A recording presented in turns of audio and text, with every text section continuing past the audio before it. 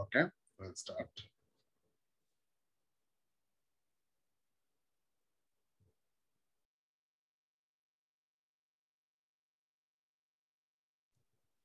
So today's topic is Gauss theorem and it's very easy. Uh, just two to three derivations, but you should understand the topic very well. And before we start with Gauss theorem, the formula of what Gauss gave or the formula that Gauss told we have to use is, look at this.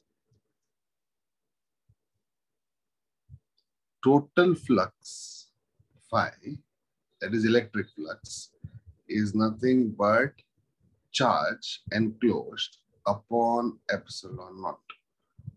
Or it is closed integration of electric field into ds.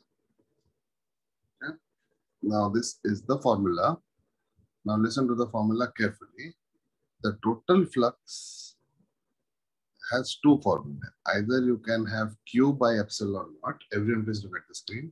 Either you can have Q by epsilon naught, one formula, or the other formula is closed integration of E ds. Actually, the other formula is E into area. Actually, the other formula is E into area, but area can be written as nothing but closed integration of ds. Means integration of all the small area is the total area. And it is closed integration sign. You know what is the meaning of closed integration? We have done this before. What is the difference between normal integration and closed integration? The difference between normal integration and closed integration is normal integration can be only be applied to open surfaces and closed integration can be applied to a closed surface. What is an open surface? What is a closed surface? I will tell you all of that later. Now, just remember there are two formulae for electric flux. Okay, please look at the screen again. Nothing to write, just listen. There are two formulae for electric flux. The first formula for electric flux is Q by epsilon naught. And the second formula for electric flux is electric field into area. Now, this area is total area Total area can be written as integration of all the small area can be written as total area, where ds is all the small areas. Okay, so this becomes the formula. Check what is the formula. Now this formula will be used in all derivation of Gauss law. Okay, and this remember Gauss law is applicable only for a closed surface. Gauss law is applicable only for a closed surface.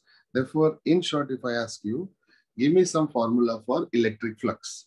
You will tell me one formula for electric flux is Q by epsilon naught. One more formula for electric flux is E into A. But instead of writing total area, total area can be written as integration of all the small area is equal to total area, where ds is the small area. And if I integrate all the small area, I will get the total area. Or in other words, the formula for electric flux is Q by epsilon naught, or I can say closed integration of E into ds. Therefore, this will be the complete formula for electric flux.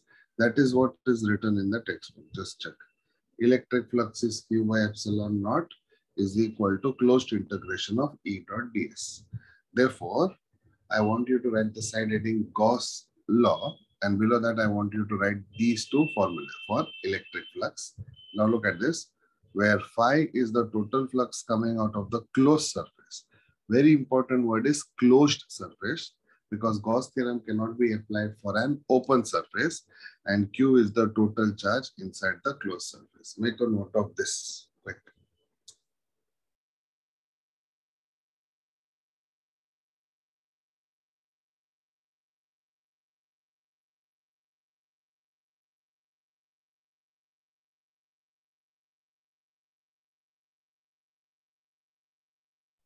Everyone has to switch on their cam and put them I put you guys in the waiting room.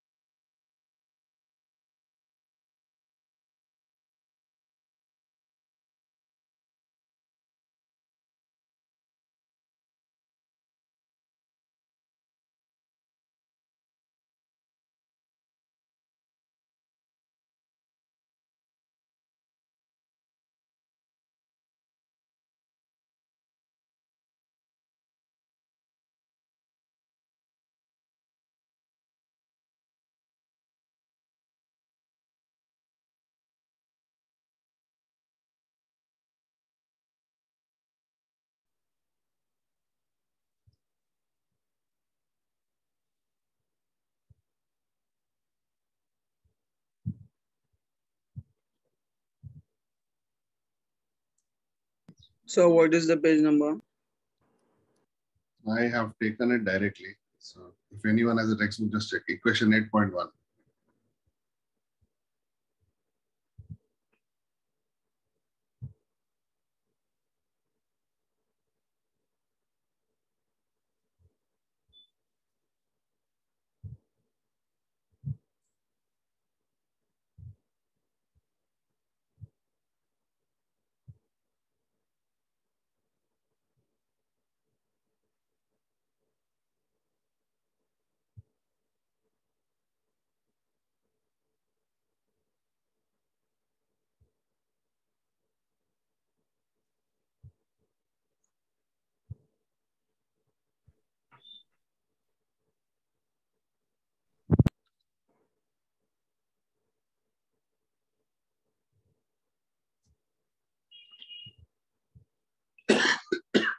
Okay, let me repeat.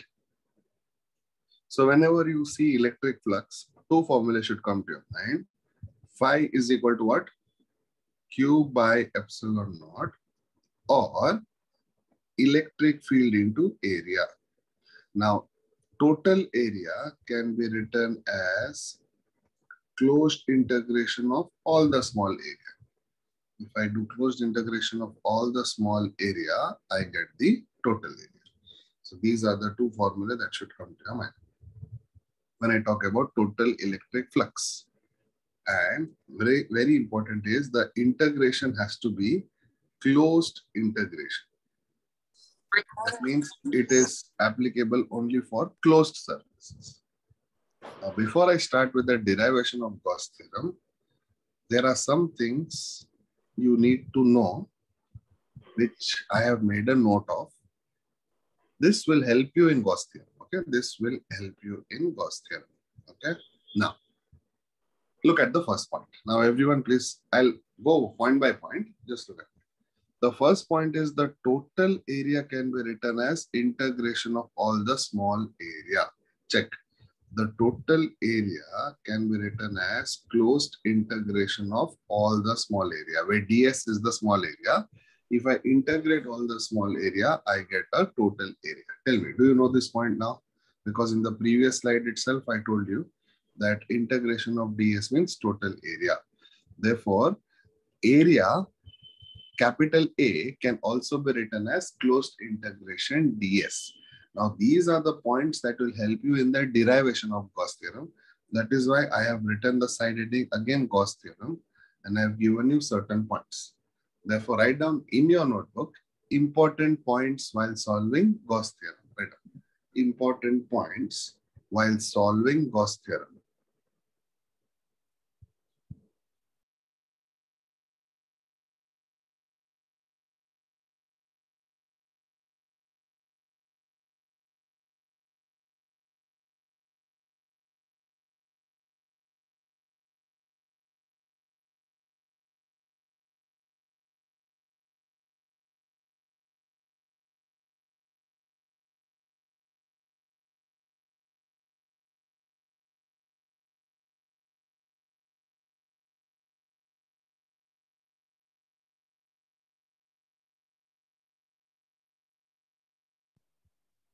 Important points while solving Gauss theorem.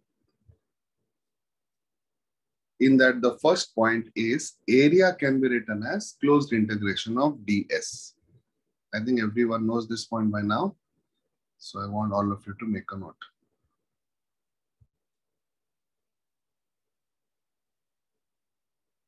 Made a note? Yes.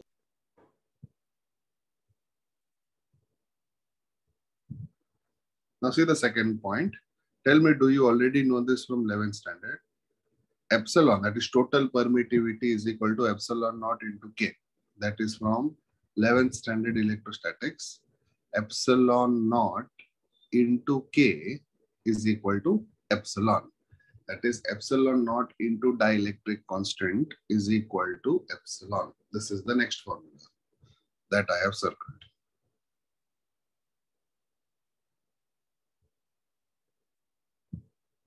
Written.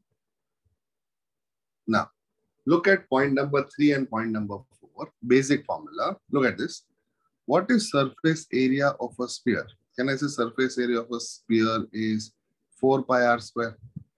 Can I say surface area of a sphere is 4 pi r square?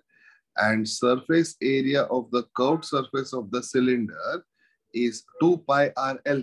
Mathematics formula. What is surface area of a sphere? Surface area of a sphere is 4 pi r square and surface area of a cylinder is 2 pi r L, where r is the radius. Therefore, make a note of these two points. Now, these points you don't have to remember as points. These points will come in Gauss theorem. That time you have to refer these points and get the answer. Okay. So write down. Next point, point number three and point number four.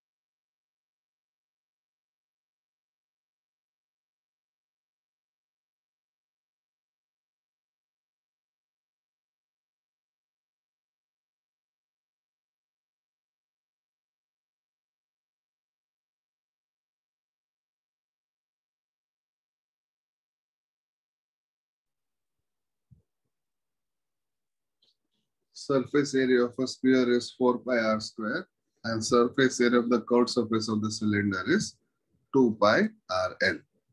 Okay. Now, so we have finished point one. I have finished point two, point three, point four. Now tell me, last class or in the first class, I have done surface charge density sigma is equal to charge upon area. Correct. Look at the notes. We have done linear charge density, surface charge density, volume charge density. In that surface charge density was charge upon area. Now, can I say instead of charge upon area, I can write charge upon closed integration ds because the overall area can be written as integration of all the small area. Therefore, can I write Q equal to sigma into closed integration ds? That is what is written over here. Tell me if you have understood this point. yes. Instead of area, I write closed integration ds. That means integration of all the small area is the complete area. Therefore, in future, if I substitute Q as this, you should understand why did I substitute Q as this. Make a note.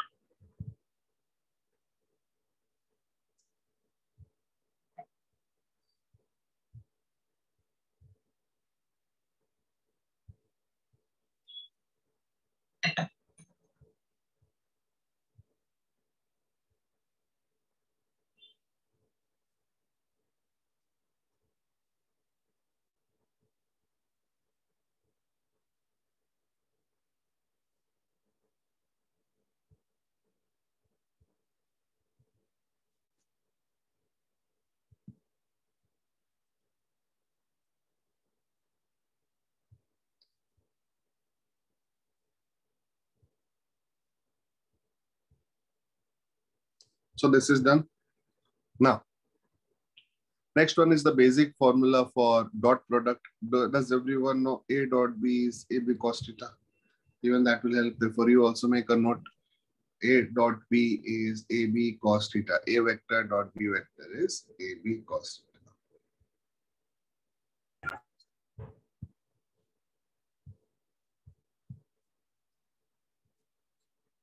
A vector dot B vector is AB cos theta.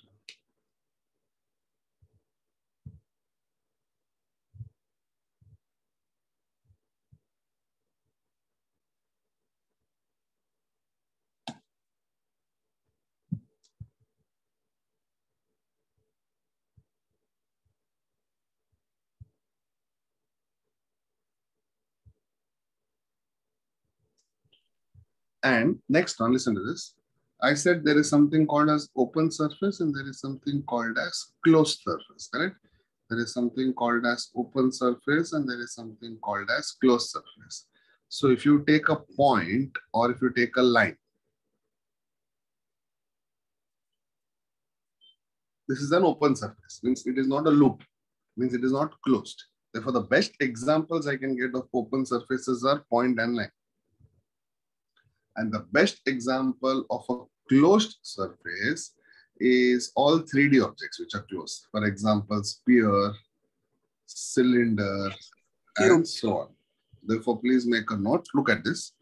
Point and line are the best example of open surface and a sphere, comma, cylinder are the best examples of a closed surface.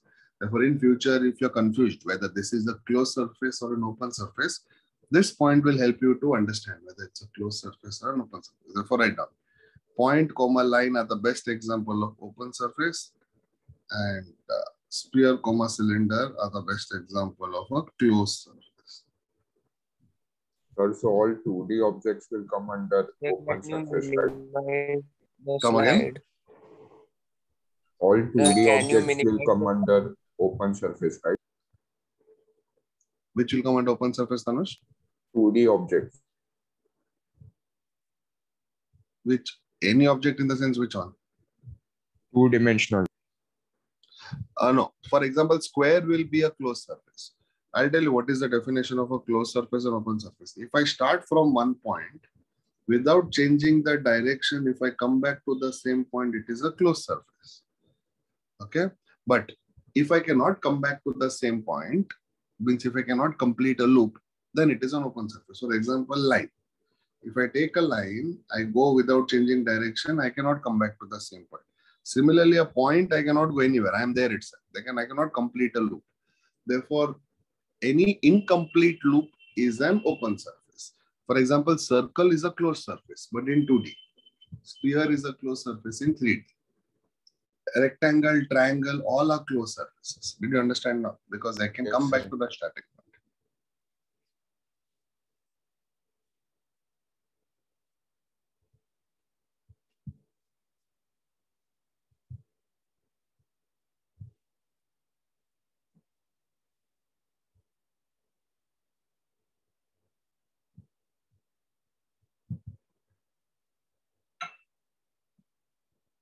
Therefore, these are the points which will help you solve the derivation of Gauss theorem. And below these points, let me write down the formula also. Look at this.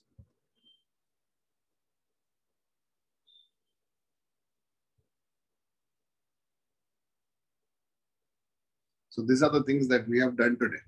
Correct? On the screen, everything I've written. I want all of you to read it, absorb it, because then we, when you do the derivations, I want you to use all these points. Okay. Now start revising this point by point, especially this point. And then we start with the derivation of Gauss. Okay. Start revising.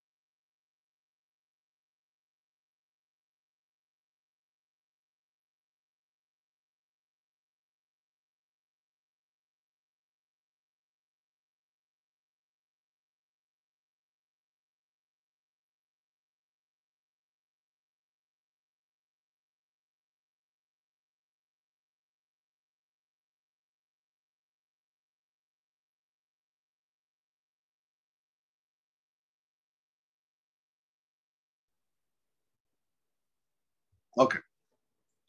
Now look at the first derivation. I want all of you to concentrate because in your board's exam from electrostatics, one derivation is sure. Today we're going to do three derivations, okay? Out of these three, one will definitely come, okay? One is a sure question. And that is why I want you to concentrate because in any other chapter, you won't get a situation where if I teach you something and I tell you that one will definitely come, that situation won't come in any other chapter. It will come only in this chapter. That is why make it a point that we are doing three derivations today. Out of this, one will definitely come in your exam. So study it accordingly. Okay. So now look at the screen. What is the side heading? Electric field intensity due to uniformly charged spherical shell or hollow sphere. This is the side heading. Okay. Means what we need to do is, I will tell you. Okay. Don't write, just listen. There is a charged sphere. Can you see there is a charged sphere? How do you know it is charged? Because all positive charges put on the sphere, correct? Now there is a point P somewhere outside the sphere, correct? There is a point P somewhere outside the sphere. Now I have to find what is electric field at this point. I have to find what is electric field at this point because of this sphere. Understood? Let me repeat. There is, okay, a uniformly charged spherical shell. How do I know there is uniformly charged spherical shell? I will take a spherical shell of radius capital R and I will make it uniformly charged. Then what I will do is I will take a point P, which is outside the shell at a distance small letter r. Please look at the screen carefully. And point P, I have to find electric field at this point. What I have to find at this point? Electric field at this point. And where is this point placed? This point is placed next to a uniformly charged sphere. Is it clear?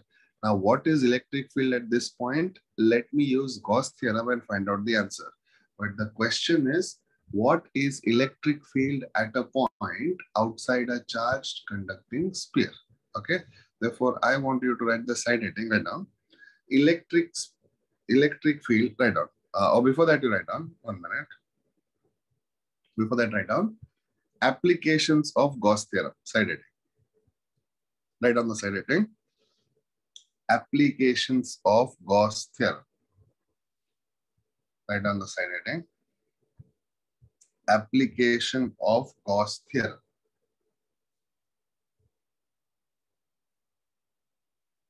Application of Gauss theorem in that first application we're first application. Electric field intensity at a point, at a electric field intensity at a point electric field intensity at a point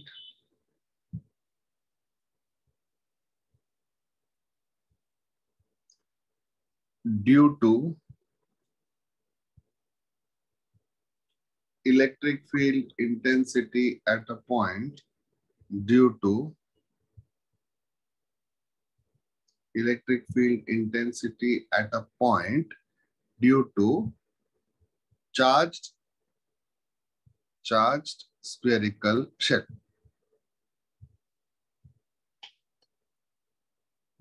Okay, full stop. Below that, start writing. Below that, start. Consider and Sir, can you repeat that point? that is a side heading. Electric field intensity at a point due to uniformly charged spherical shell. That is a side heading. This is the first application of Gauss. Okay. Okay, sir. Now below that, write down. Consider an uniformly charged hollow sphere. Consider an uniformly charged consider an uniformly charged hollow sphere of radius capital R. Consider an uniformly charged hollow sphere with radius capital R as shown in the figure. As shown in the figure. And below that, draw the first diagram, this one. Consider an uniformly charged hollow sphere as shown in the figure.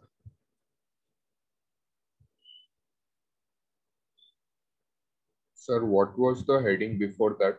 Electric field intensity at a point? Electric field intensity at a point due to uniformly charged spherical shell.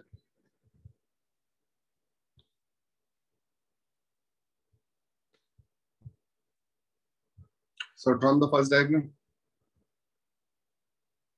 Yes, Everyone run the first diagram. Now, below this diagram, write down, consider a point capital P. Consider a point capital P placed at a distance. Consider a point capital P placed at a distance, small letter r.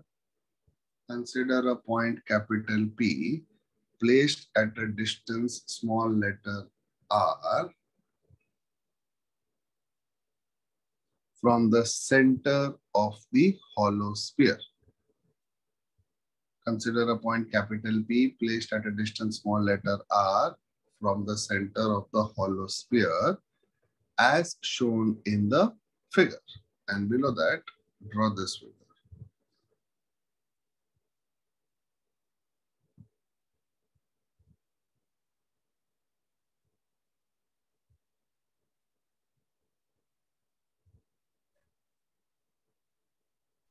Sir, can you repeat the point? Can you repeat what?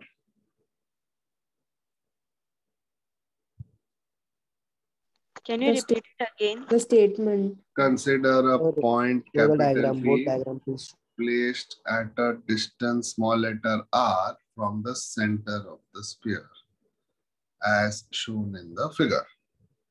Consider a point capital P placed at a distance small letter r from the center of the conducting sphere or this hollow sphere as shown in the figure.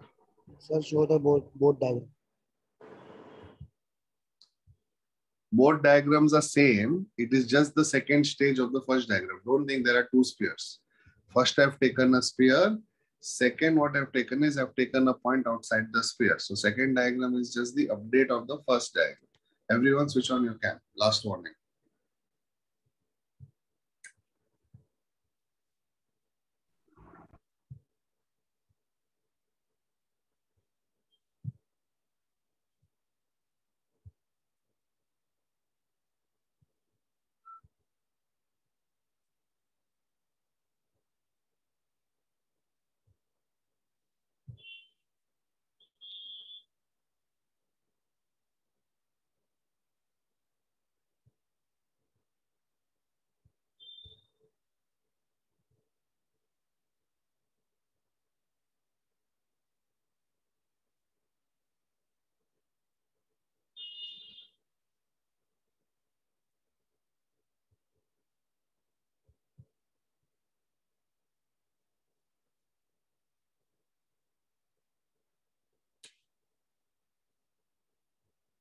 Written?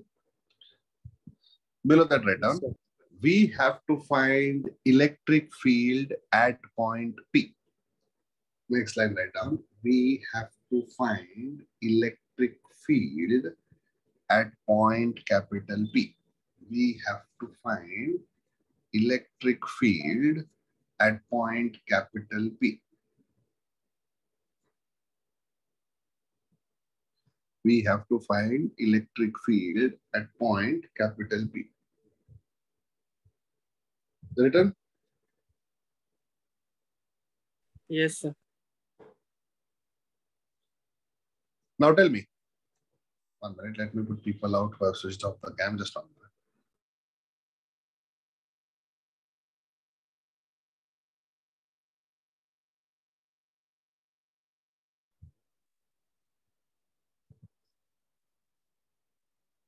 We have to find electric field at point P, correct?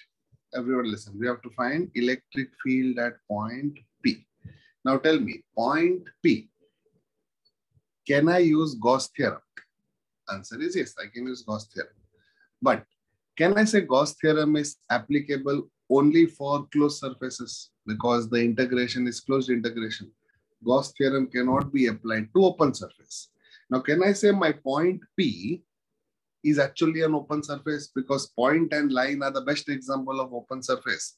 Therefore, to find electric field at point P, I cannot use Gauss theorem because Gauss theorem is only applied to closed surfaces.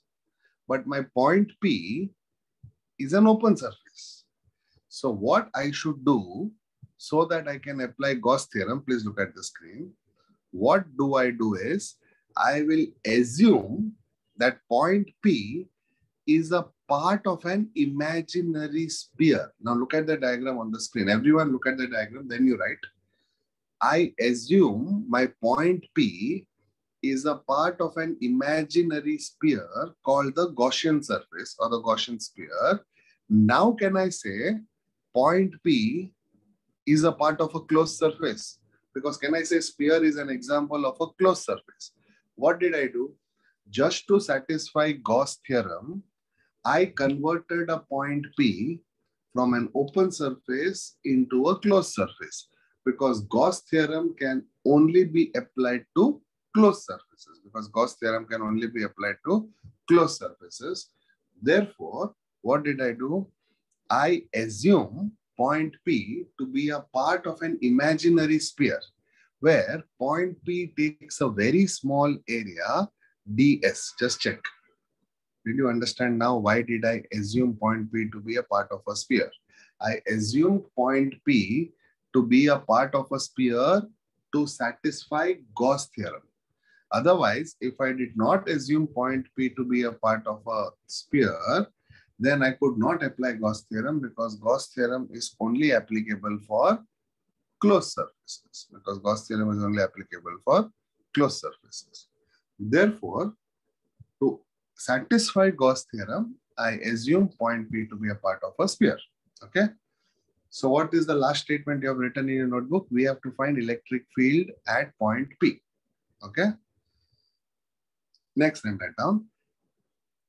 Since Gauss theorem is applicable only for closed surface, down. Since Gauss theorem, since Gauss theorem is applicable only for closed surface, since Gauss theorem is applicable only for closed surface, we assume, we assume point P. We assume point capital P to be a part. We assume point capital P to be a part of an imaginary sphere. We assume point P to be a part of an imaginary sphere where capital P occupies, where capital P occupies a small area ds, where capital P, that is point P, occupies a small area ds as shown in the figure as shown in the figure as shown in the figure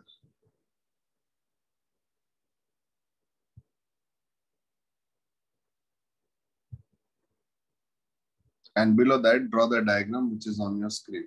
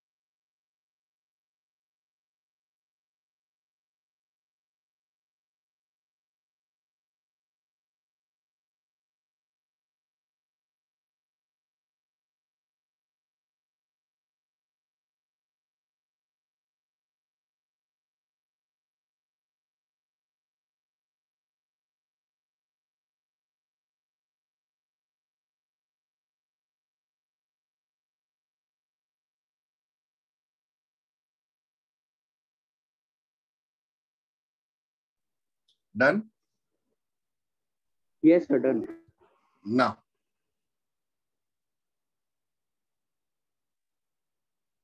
So can you show me the last slide for one second?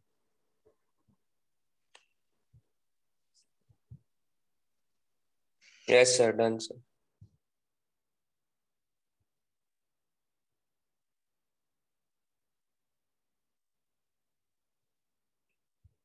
Now please listen to me. This is my diagram. Now tell me what I have to find. I have to find electric field at point P. Please listen to me. Everyone, look at the screen. I have to find electric field at point P, correct? Now, tell me, point P is a part of a sphere, correct? Tell me, point P is a part of a sphere which is having radius small letter r or capital letter r. Tell me, look at the diagram and tell me. Point Small P, letter. point Small P is a part of a sphere whose radius is small letter r, correct? Point P is a part of a sphere whose radius is small letter r, correct? Now what I will do is, I will show you the derivation in one screen. I will go step by step. And then tell me if you have understood. And then you make a note. Don't make a note of it right now. Till now, what you have done, listen to me. You have drawn the first diagram where you have drawn uniformly charged sphere. Then you have taken a point which is outside the sphere. Then you have assumed the point to be a part of the imaginary sphere. Now, what is our intention? Our intention is to get a formula for electric field. Where? At a point P. Correct? Now, that sphere that we have imagined, please listen to me. The sphere that we have imagined, we have imagined it to be a horizontal sphere, not a vertical sphere. Since it is shown on your screen, it looks vertical, but actually it is horizontal. You know, horizontal, like how you keep cup and saucer. Saucer, can I say, is horizontal? You know, cup and saucer, saucer is Yes, horizontal. sir. Why do I assume horizontal? Because then can I say theta is equal to zero? Then can I say theta is equal to zero? So what will happen is my derivation becomes very easy. Or in other words, I'll assume my angle to be zero so that my derivation becomes easy. I'll tell you how. Now please look at the derivation in one shot. Okay, look at this. I know the formula for flux is equal to Q by epsilon naught or it is closed integration of E ds. Everyone understood the first step? Everyone understood the first step because that is my Gauss theorem formula itself. Don't write anything. Listen to me right now. For the next two minutes, just look at the screen you. Okay? See here. Can I say flux is equal to Q by epsilon naught is equal to closed integration of E into ds. This was anyway Gauss theorem. Or Q by epsilon naught is equal to closed integration of can I say E dot ds can be written as E ds cos theta because A dot B can be written as AB cos theta. And this time I told you my angle is assumed to be zero. Therefore, theta is assumed to be zero. Therefore, can I say Q by epsilon naught is equal to closed integration of E ds cos zero. What is the value of cos zero? Value of cos zero is one. Therefore, can I say this will cancel and I am left with this much?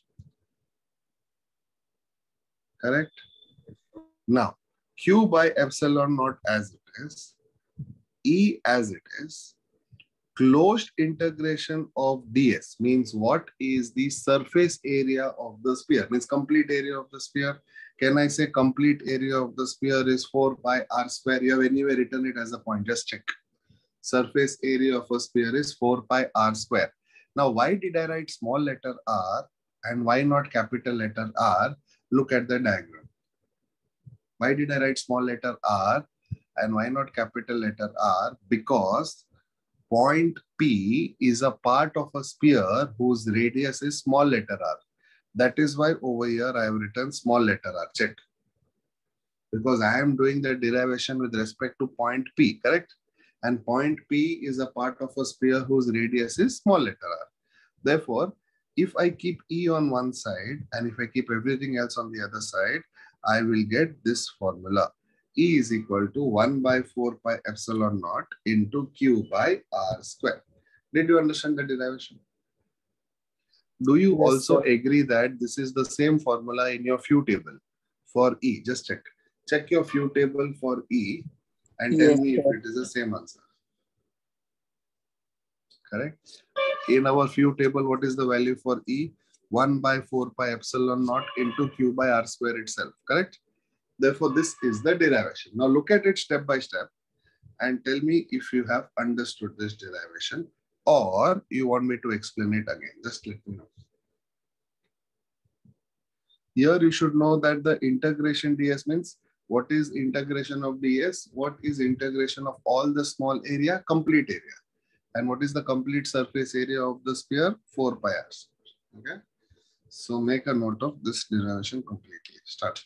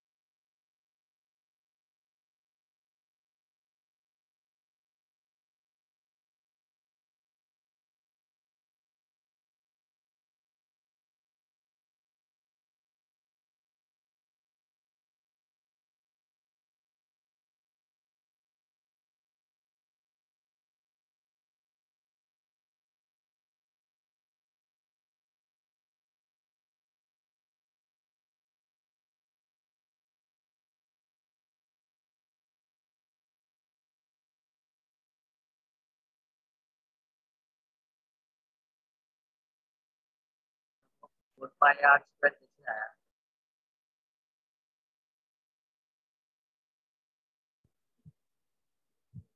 hmm. So I'll explain once more, step by step. So for people who have not understood, listen. I know flux is equal to Q by epsilon naught is equal to closed integration of EDS. Now EDS can be written as EDS cos theta because A dot B is AB cos theta. I'm assuming theta equal to zero. Therefore cos zero will be equal to one. Therefore I am left with this step. Q by epsilon naught is equal to E into integration ds.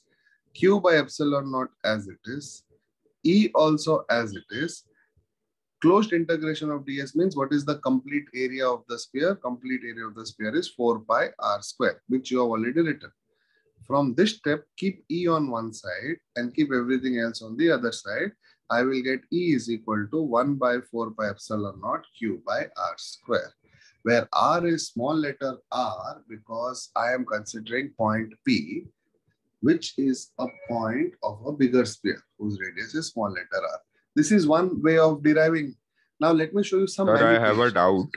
Yes, Is E, tell me. E a constant value? E of is E- E a constant value? Yes, we are assuming E to be uniform electric field. That way it is constant. That's It why we uniform. took it out of the closed Yes, integration, right? yes, correct. Yes, correct. And sir, what will be the heading for this derivation? Application one. I have already given you the heading. No, Okay, so this also comes under it. Which one? This part also comes under it, right? Yeah, yeah. I have not finished the first derivation. It is the first derivation itself. My first derivation starts from here, first application. Understood? Yes, sir.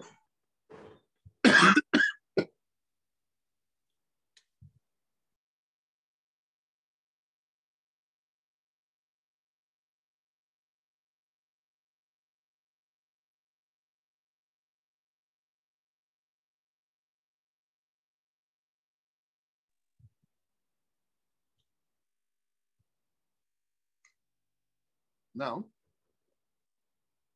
let me show you one more way in which I can show you this formula. Some manipulation. Derivation is over, but let me show you one more way in which I can represent the formula. Now, the one more way in which I can represent the formula is, please look at the screen. I got this answer, everyone confirm. 1 by 4 pi epsilon naught into q by r Yes, square. sir. This is my answer. Now, do I know this formula? Surface charge density is charge upon area. Everyone knows this formula from our first class. Or can I say charge will remain Q and area of a sphere will be 4 pi capital R square. Now, can you tell me over here why I'm taking capital R and not small letter? Because we are removing the area of the sphere. But area, have, both the spheres have area. Correct, both the spheres have area. But why it is charge in sphere only. Now, correct. Because can I say charge is on the inner sphere only? Check the diagram. Can I say the charge is on the inner sphere only? Because the outer sphere we have imagined as imaginary, correct? Therefore, can I say charge is on which sphere? Can I say charge is on the inner sphere? And what is the radius of the inner sphere? Radius of the inner Capital R. sphere is capital letter R. Therefore, whenever I take the formula for surface charge density sigma, please look at the screen. When I take sigma is equal to charge upon area, I will take charge upon area of a sphere is 4 pi capital R square because charge is on that sphere. Charge is on which sphere? The sphere which is having radius capital R or the radius small letter r? It is capital letter R. Therefore, instead of Q, can I write sigma into 4 pi capital R square? Understood this step? Therefore, let me repeat. You got this answer as your final answer. E is equal to 1 by 4 pi epsilon naught into Q by R square. Now, I will take surface charge density sigma is equal to charge upon area. Or can I say charge upon area of a sphere is 4 pi r square. From this formula, can I say charge Q is equal to sigma into 4 pi r square? Sigma into 4 pi r square. Now, instead of Q, if I put this value here, that is which one? Sigma into 4 pi r square, what will I get? I will get E is equal to 1 by 4 pi epsilon naught as it is. Instead of Q, I will substitute sigma into 4 pi r square divided by small letter r. Therefore, 4 pi and 4 pi will cancel. I am left with the formula sigma r square by epsilon naught small r square. Did you understand? This is one more formula for electric field at a point outside a charge conducting sphere. This is one more formula for electric field at a point outside a charge conducting sphere. And this is a part of your derivation one itself. And in the exam also, we have to show this formula also. Do you understand? So can I say I have got two formulae now for a point outside a charge conducting sphere? One is this formula and one is this formula. This completes your derivation one. Make a note. This completes your derivation one. Make a note quick.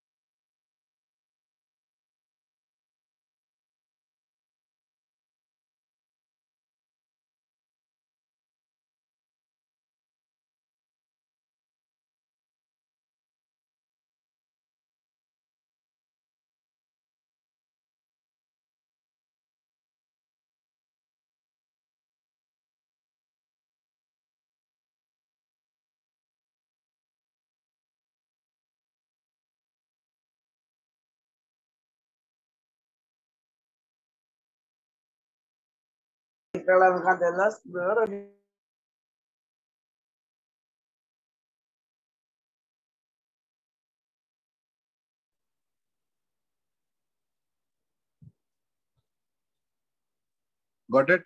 Now I want all of you to go through the first derivation. See here. It starts from this diagram, okay? First I take, listen to me first. First I take a charge sphere, then I take a point outside. Then to satisfy Gauss theorem, I assume that point to be a part of the sphere. Then I start with a derivation and I get the answer 1 by 4 pi epsilon naught q by r square. Then instead of Q, I substitute as surface charge density sigma. And then I get one more answer for electric field. Therefore, I get ultimately two answers for electric field at a point outside a charge sphere. This is the first answer and this is the second answer. So both of them are formulae which will be helpful in the problem. Plus we have to do it in the derivation. This completes derivation one out of three. So go through this. Let me know if you have any doubt, and then we go to the next derivation. Okay. So please be careful. One derivation is a sure derivation. Okay. And I don't want any confusion in this derivation. It's very easy. You have to just go step by step.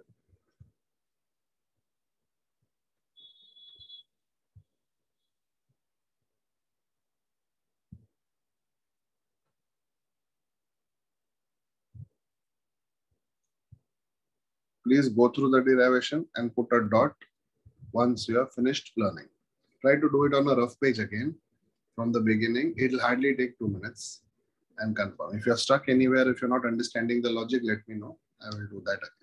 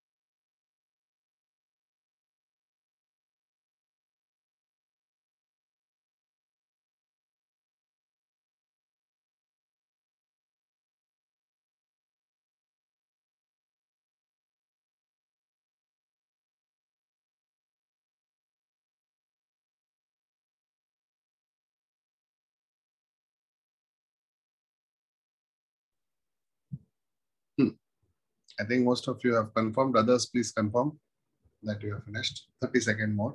Then I go to the next topic.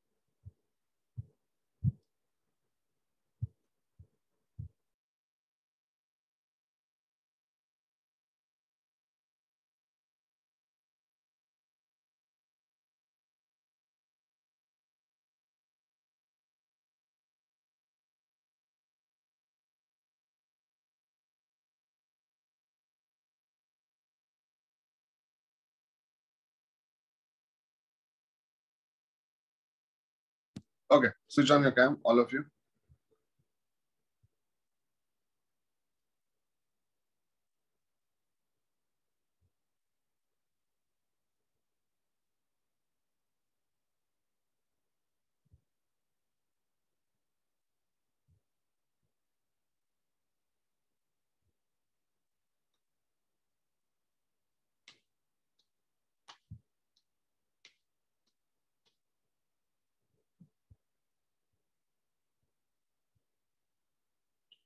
Now, listen to me. What was our first derivation? Our first derivation was we have to find electric field at a point which is outside a charged sphere, correct? Repeat in your mind. What was our first derivation? Our first derivation was to find out what is electric intensity at a point outside a charged sphere. Our second derivation, instead of sphere, it is cylinder. Understood? We have to find electric intensity at a point outside a charged cylinder. Did you understand the difference? First derivation, I had to find electric intensity at a point which is outside a charged sphere. Second derivation, I have to find electric intensity at a point which is placed outside a charged cylinder. Cylinder means, can I say a wire? Can I say wire is nothing but a cylinder Yes, or a cylinder itself? Now, if you can look at the side heading, it is written electric field intensity due to an infinitely long straight charged wire. But they have not said where. It should be electric field intensity at a point near an infinitely charged long conducting wire. Okay, because you don't have to find off the wire, you have to find it at a point which is outside the wire. Therefore, now write down application two, side heading. Application two. Gauss application two. Write down side heading. Gauss application two. Below that, write down. Write down side heading. Gauss application two. To find electric field intensity. To find electric field intensity at a point. To find electric field intensity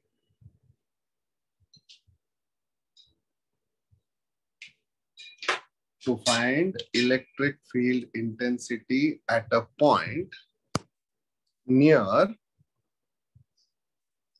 to find electric field intensity at a point near infinitely long straight charged wire. It is there on the screen. Actually, inside the bracket, you can write cylinder also because the wire is nothing but a cylinder electric field intensity at a point near infinitely long straight charged wire.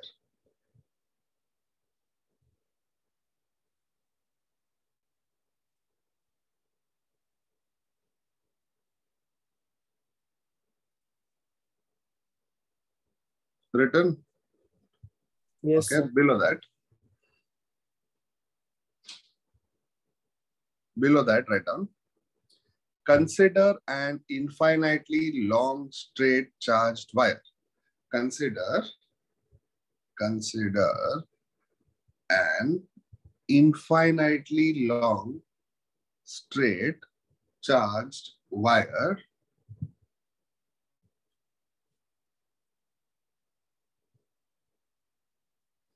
of cross sectional radius capital R of cross-sectional radius capital R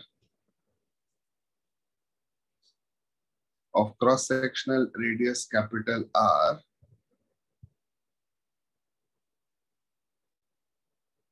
as shown in the figure. As Sir, can you repeat?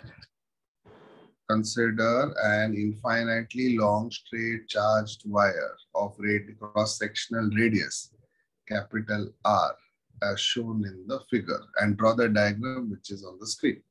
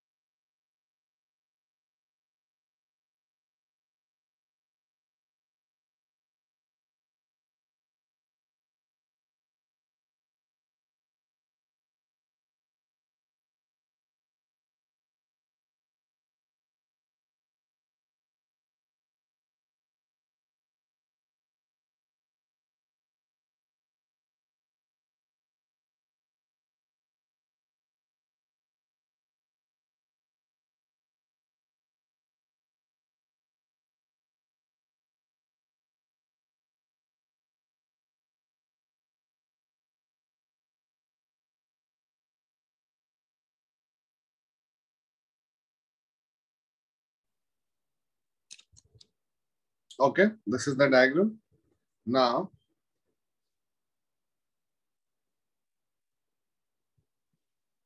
see here. Now I have to find electric field at a point outside a charged wire. Now I will take a point P. Please look at the screen. Now I will take a point P. Okay.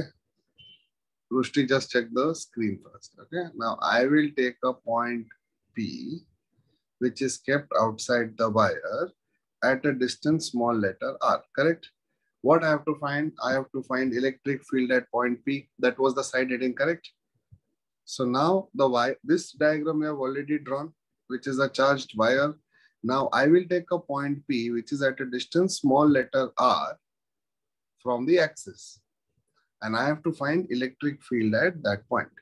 So below the diagram, write down, consider a point capital P, write down below the diagram, consider a point capital P, consider a point capital P placed at a distance small letter r, consider a point capital P placed at a distance small letter r from the axis of the wire from the axis of the wire.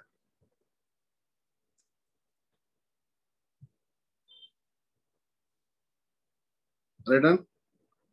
From Okay, the axis of the wire. As shown in the figure. As shown in the figure. And then draw this diagram, which is on the screen then draw this diagram which is on the screen. Start.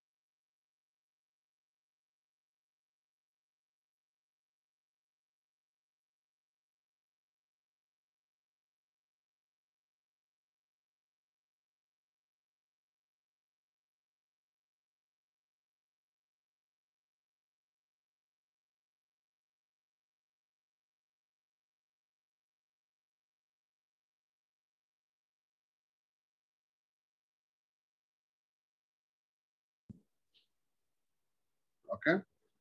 Now look at the screen.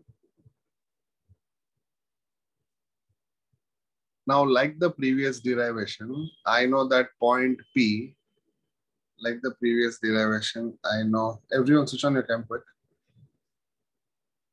Like the previous derivation, I know point is an example of an open surface. But to apply Gauss theorem, point P should be a part of a closed surface, correct?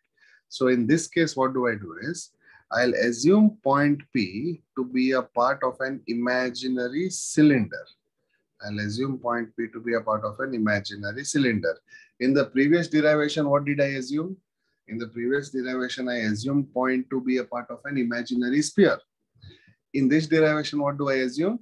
In this derivation, I assume point P to be a part of an imaginary cylinder where P occupies a very small area ds. You understand? Therefore, you have written the diagram or you have drawn till here. Consider a point capital P at a distance small letter r from the axis of the wire. Below that, write down. To satisfy Gauss law, write down. To satisfy Gauss law, to satisfy Gauss law, we assume point capital P. To satisfy Gauss law, we, as, we assume point capital P to be a part of an imaginary cylinder, to be a part, to be a part of an imaginary cylinder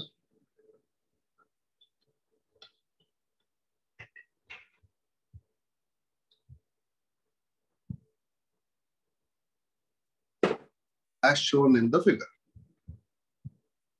As shown in the figure. Full stop. Here, point P occupies, here, point P occupies a very small area. Here, point P here point P occupies a very small area ds. Here point P occupies a very small area ds. And below that, draw the diagram, what I have drawn on the screen. Start. Below that, draw the diagram that I have drawn on the screen.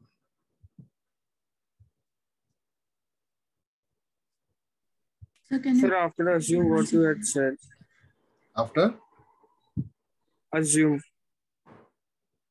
tell me the sentence, I'll continue. Sir, to satisfy Gauss law, we assume. Point P to be a part, Yes, sir. bas- Yes. Thank you, thank you. point P to be a part of an imaginary cylinder as shown in the figure. Here point P occupies a small area ds.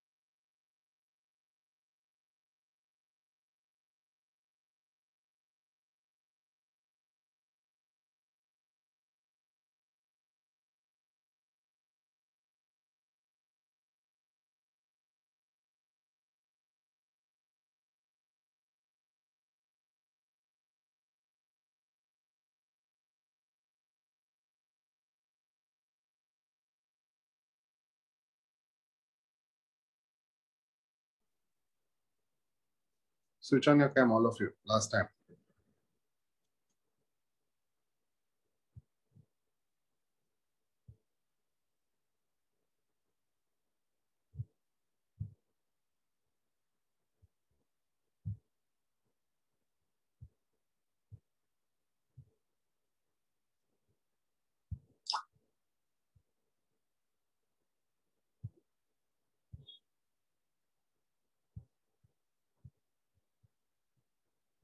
Okay. Now,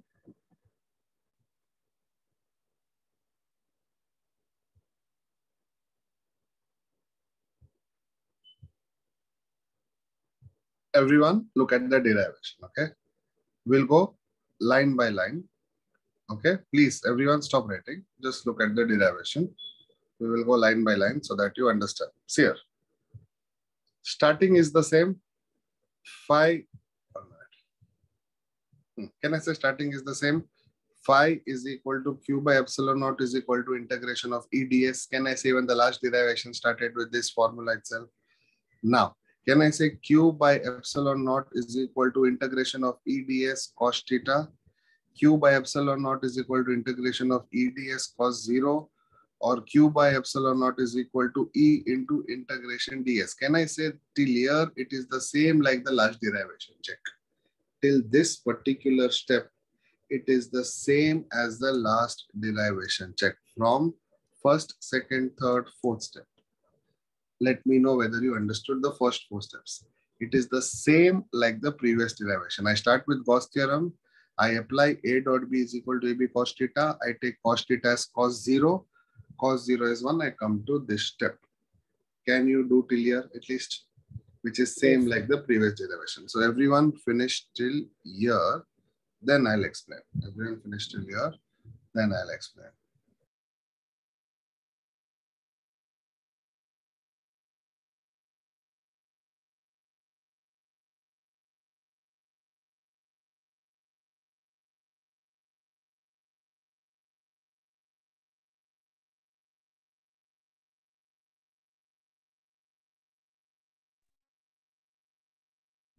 Sir, so here also we will consider cylinder as horizontal. Correct. In other words, any derivation of Gauss will assume theta to be zero anyhow. So that our derivation becomes zero.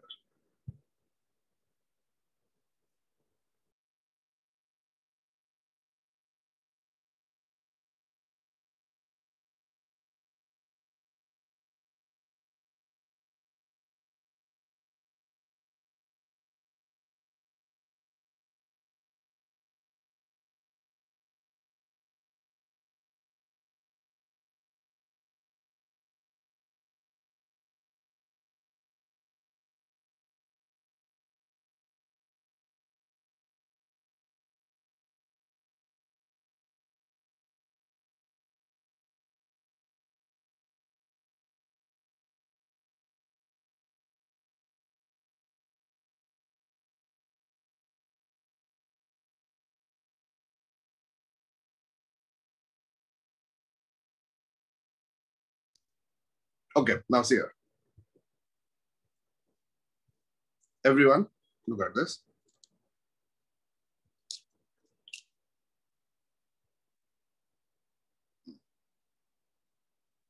Q by epsilon naught as it is, E as it is. Now you know the surface area of a cylinder is 2 pi RL, correct? Everyone you know the surface area of a cylinder is 2 pi RL. We have anyway written that point in the beginning also, while I was giving you important points on Gauss theorem, correct? So now, can I write instead of closed integration ds, that means instead of the area, I can write it as 2 pi RL, correct? Also, can I write Q as lambda into L? Because can I say surface charge density is equal to charge upon length or can I say charge is equal to lambda into L? Can I write it like that? Yes, sir. Therefore, can I say I can substitute Q as lambda L and I can substitute closed integration of ds as 2 pi RL. If I do that, I will come to this step lambda L by epsilon naught is equal to E into 2 pi RL. And if I keep E on one side, if I keep E on one side, I will get E is equal to lambda by 2 pi epsilon naught into R. Did you understand the derivation? With that, the derivation is over. This is the only derivation. There are no two formulae. There is only one formula. Correct, Balaji? There is only one formula. Yes. so everyone listen to this. What is the only change we have done is we have substituted Q as lambda L and closed integration ds. That means complete area or surface area of a cylinder is 2 pi RL. Therefore, make a note and complete the entire derivation. And this formula will be the final result of this. Start.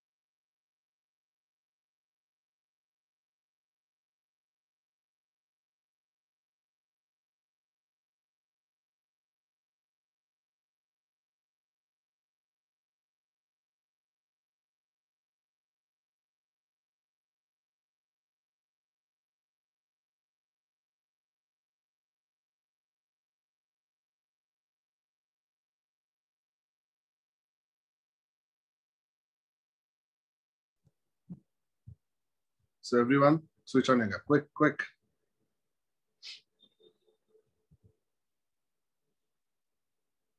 We completed two derivations, okay? One is of a sphere and one is of a cylinder. If you notice, both are very similar. One is a point outside a sphere and one is a point outside a cylinder. For both, I assumed a Gaussian surface or for both, I assumed an imaginary surface. For the first case, I assumed it to be a part of a sphere. In the second case, I assumed it to be a part of a cylinder. And I have got formula for the sphere derivation and I have got the formula for the cylinder derivation. That means a wire. Now I want you to revise both the derivations because starting is the same. Because starting is the same, I want you to revise both the derivations on a rough paper and tell me whether you can get the answer. Then we'll go to the last derivation, that is the third application, okay, which is the smallest derivation and the easiest derivation, okay. So the lengthy derivations are over. Now the next derivation is a very small derivation. With that, we complete Gauss law of electrostatics, which is a very important topic. So I want you to practice these two. One is a sphere and one is a cylinder. And let me know if you have any doubt. Okay, start.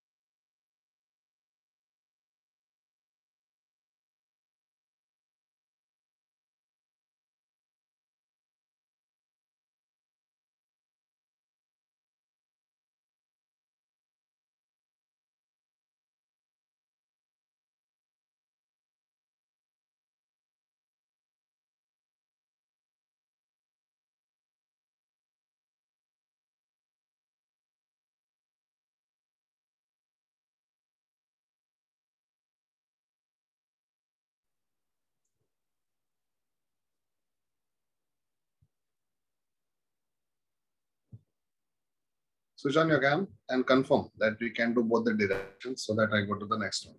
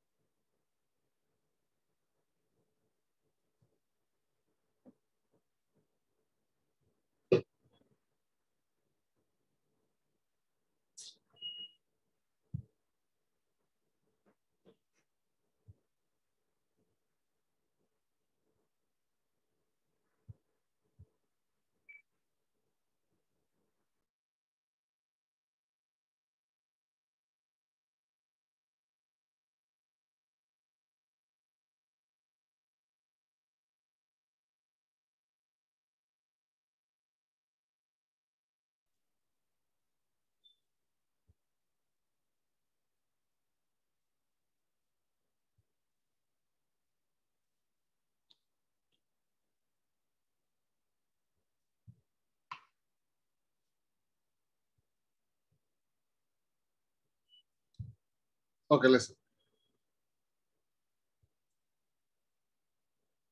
Everyone, see the example and so switch on it. So this. The length of a straight thin wire is two meter. That means, can I say the length of the wire is two meter? And since if you're looking at Gaussian application, can I say this application is for a cylinder? Because wire is nothing but a cylinder and it is uniformly charged with a positive charge of 3 microcoulomb.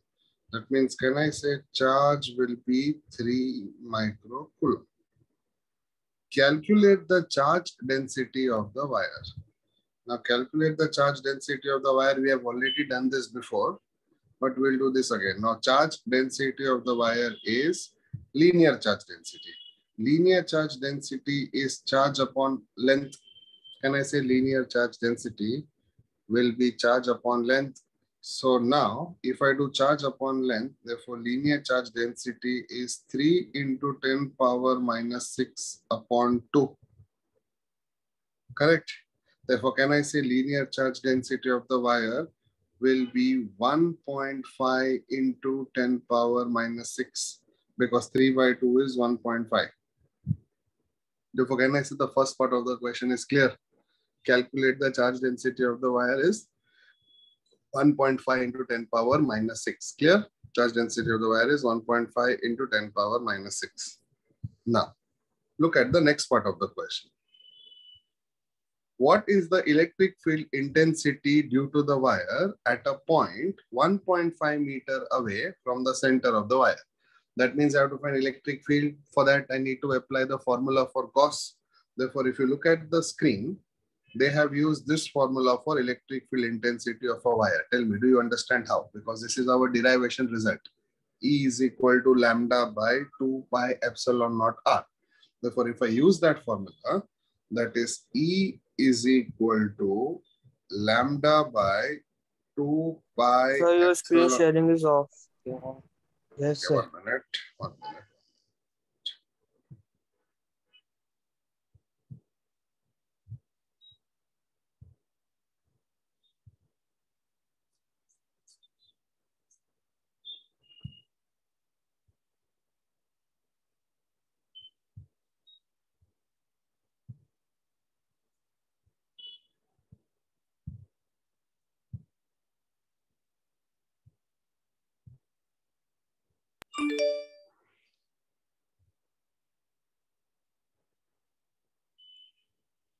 Now can you see all of you? Yes, sir. Yes, Yes, sir. Now, can I say electric intensity? This is the formula. E is equal to lambda by 2 pi epsilon naught r. This is the formula from our derivation itself. Now, did we calculate the value for lambda? Answer is yes. We calculated the value for lambda as 1.5 into 10 power minus 6 divided by 2 as it is. What is the value for pi? 3.14. What is the value for epsilon naught? 8.8 into 10 power minus 12. And what is the value for R? It is given in the question as 1.5. Therefore, I substitute all, I'll get this answer as this. Now solve it and tell me if you're getting this answer. Solve both. That is the first part of the question and the second part of the question. The first part of the question, lambda is equal to Q by L. This is the formula. And the second part of the question, electric field intensity is lambda by 2 pi epsilon naught r. So using these two formula, get the answer 1 and get the answer 2. Start.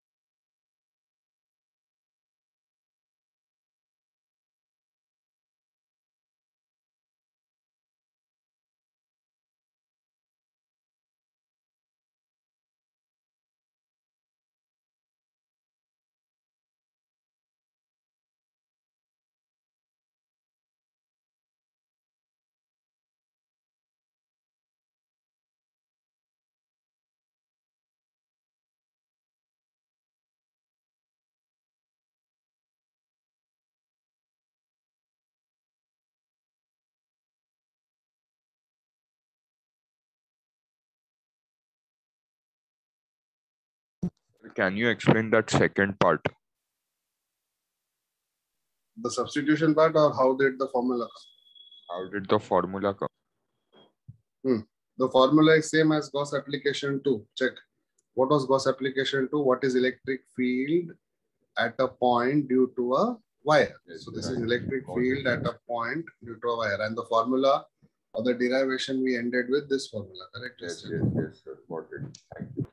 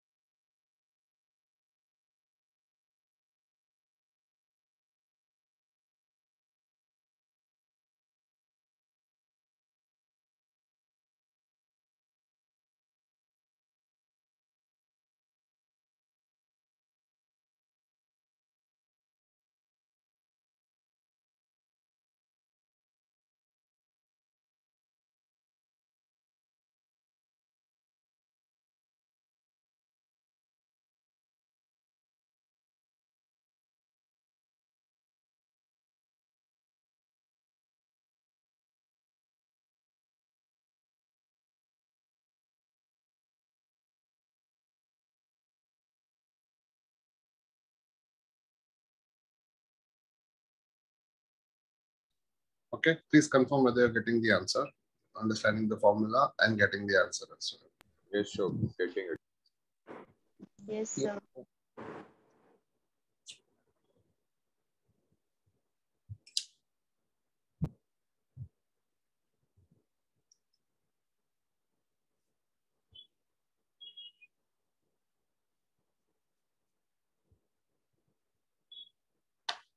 Okay, okay, I'll leave it on for some time and then we'll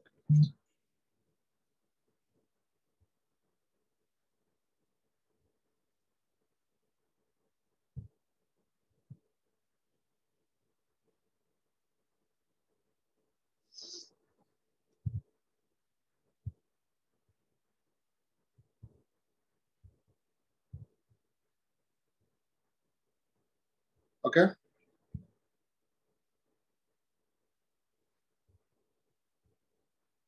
Now, take down the last derivation. Okay, the last derivation is this. Right on the side heading. Electric field due to a charge infinite plane sheet.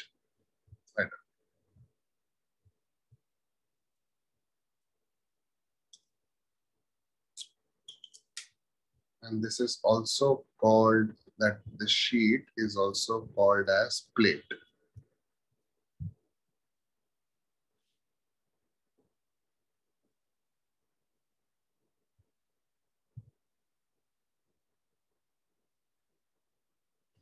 There is no diagram for this derivation, so there's no need to draw this. Just write down electric field due to a charge infinite plane sheet or a plate.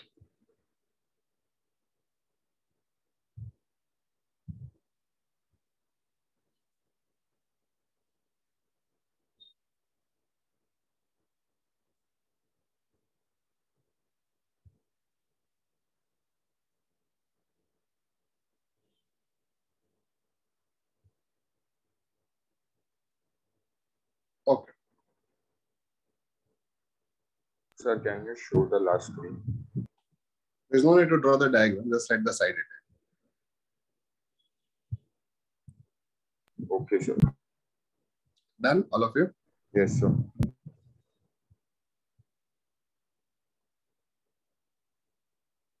Now the derivation is very simple. Derivation does not require a diagram. Listen to the derivation. It's just a plain sheet or metallic plate or a sheet.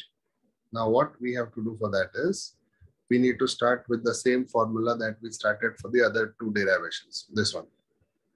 Phi is equal to Q by epsilon naught or it is integration of E EDS or Q by epsilon naught is equal to E into integration ds. Can I say till here it is same like all the other derivations? That is E ds cos theta cos zero, therefore E into integration ds. Till here, can I say it is the same? So can I say starting of all three derivations is the same, at least till this step? At least till this step, correct? Yes. Therefore, therefore make a note till here. Make a note of these two steps. Start.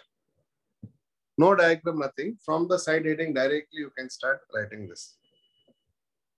Phi, that is flux, is equal to Q by epsilon naught. That is closed integration of E into ds. That is Q by epsilon naught is equal to E into integration ds.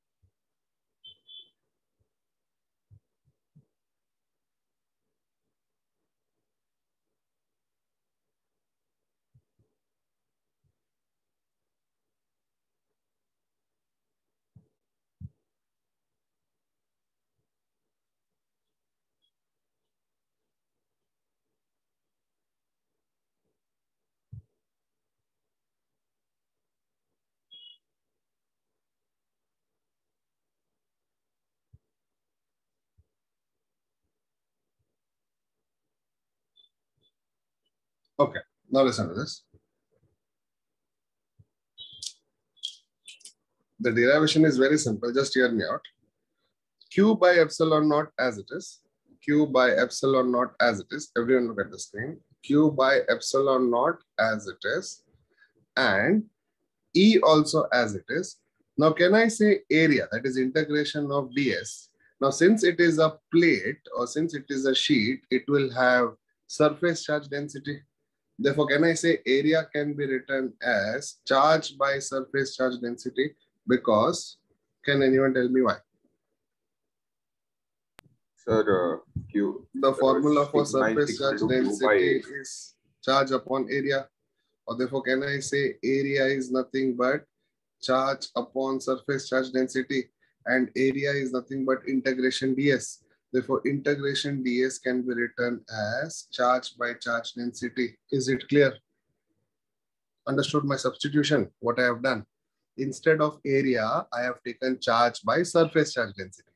And why I have taken surface charge density and not linear or volume? Because plate is a surface or a sheet is a surface. Therefore, I will take surface charge density. Okay. Also, can I say a sheet will have two sides? One side and second side. Look at me, look at me, look at the screen. Can I say if I take a sheet, it will have two sides. Therefore, one side will be here, other side will be back side. Therefore, I will have two electric field, one on one side of the paper, one on the other side of the paper. Correct. Therefore, can I say since a sheet has two sides, my answer will become 2 into this because elect this is only for one side. Since a sheet has two sides, it will become 2 into this. And then if I keep E on one side, I will get answer as this, sigma by 2 epsilon naught. Tell me, did you understand that derivation? Derivation is over. The only thing you need to understand is, since the sheet has two sides, this will become two electric field because electric field on one side and electric field on the other side. So a single sheet will have two sides. Therefore, a single sheet will have two electric fields. One on the front side, one on the back side. Okay. So make a note. Then we'll do this derivation on a blank page also.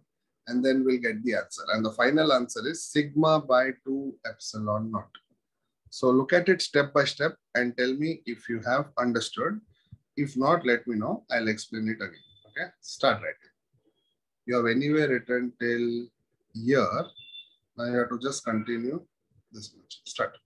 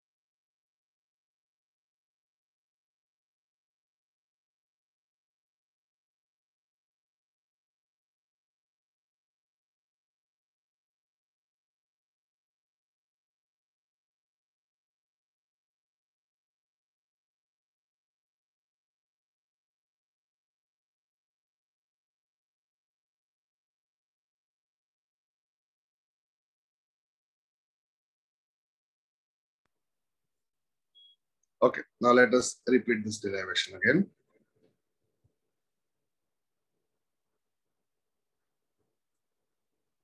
So see here, I got Q by epsilon naught. Look at it, I'm doing it again. Is equal to E into closed integration ds.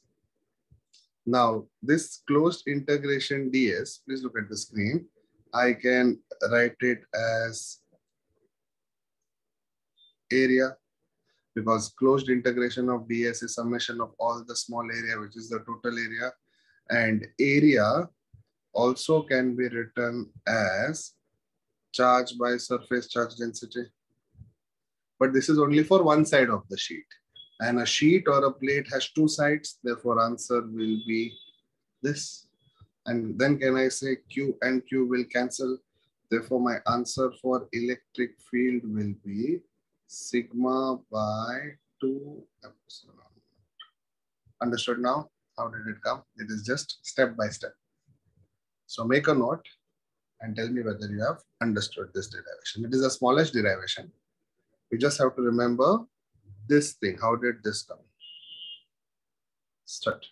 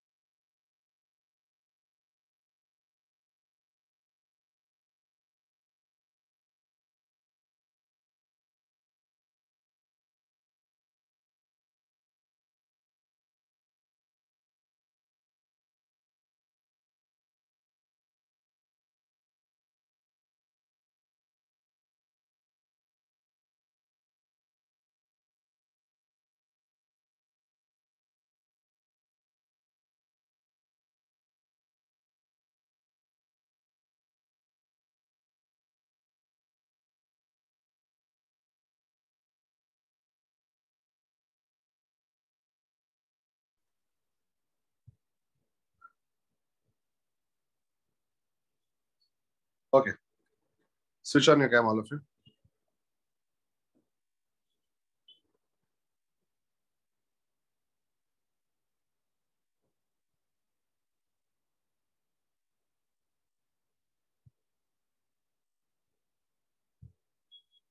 Now, this is a summary page of Gauss law. Okay. Now, it will be very easy for you also to remember when you do the derivations and so forth. Please look at the screen.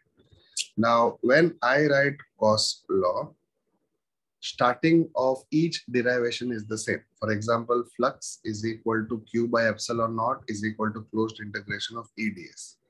Then I come to Q by epsilon naught is equal to E into integration ds. Till here,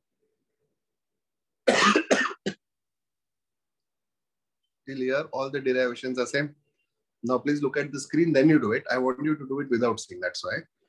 Now, if I take a sphere, Q by epsilon naught will be E into integration ds will be 4 pi r square, and then you get the answer.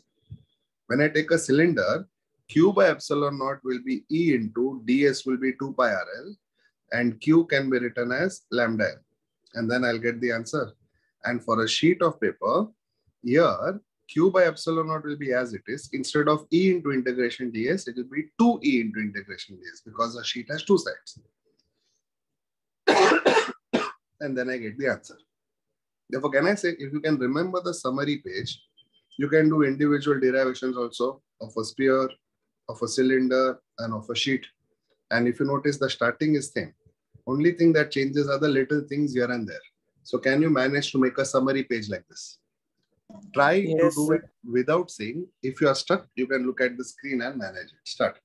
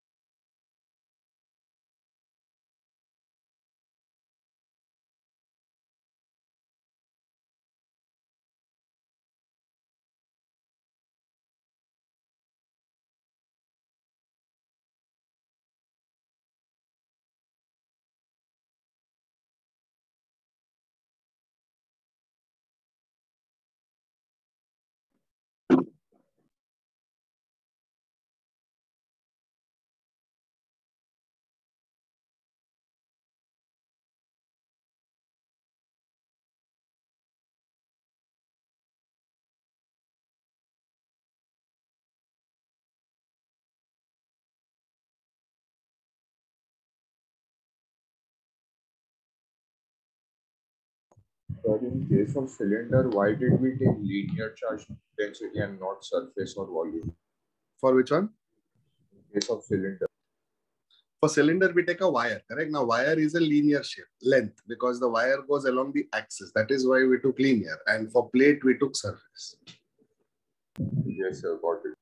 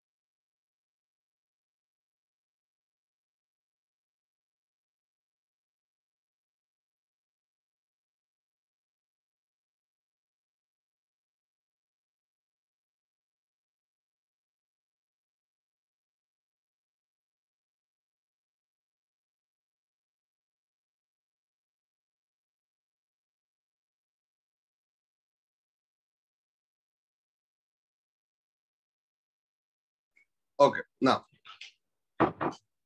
one last problem for today. Look at the screen.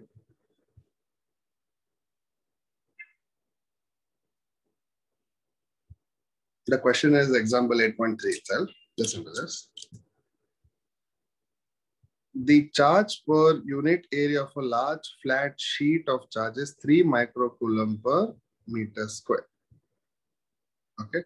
Now, charge per unit area. Now, tell me, what is charge per unit area actually? Can I say charge per unit area is surface charge density? So instead of telling you surface charge density directly, instead of telling you that surface charge density is given directly, they have given you charge per unit area. But you should understand surface charge density is given and surface charge density is given as 3 microcoulomb per meter square.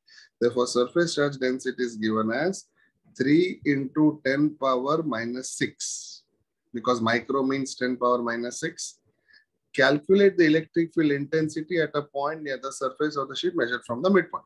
Means I have to calculate the electric field due to a sheet. Now I know the formula. It is E is equal to sigma by 2 epsilon naught.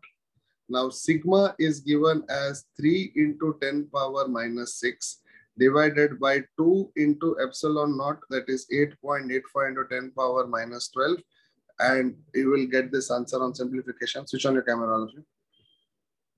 Tell me if you can understand this problem. And especially we use this formula because it is a plane sheet. E is equal to sigma by 2 epsilon naught. Understood? Yes, sir. So make a note of this problem quick.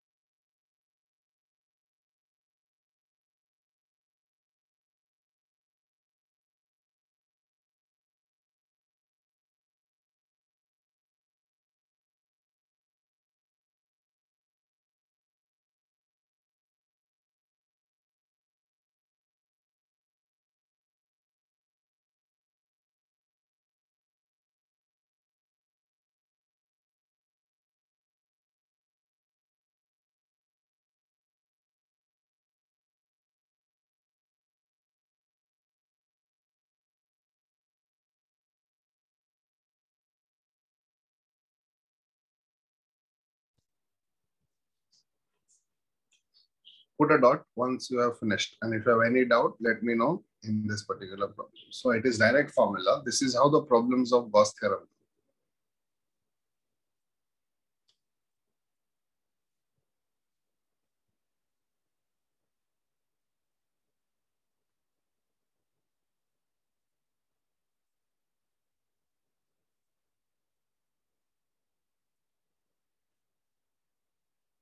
Okay. And your homework question for today is this. Please make a note. Your example 8.8 will be your homework question for today. One homework. Make a note.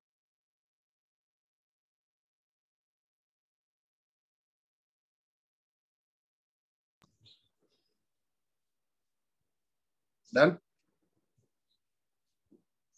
Yes. Yes, sir.